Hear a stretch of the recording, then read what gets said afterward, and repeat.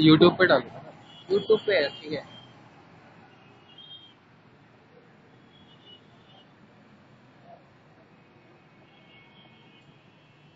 Quality मस्त लग नहीं रहा three point two mega pixel चलो।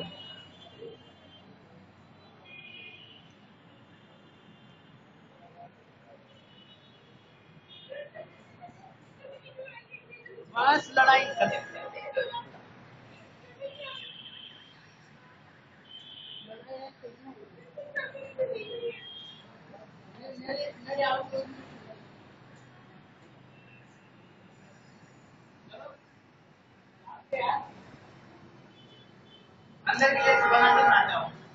चलो आ रहा हूँ।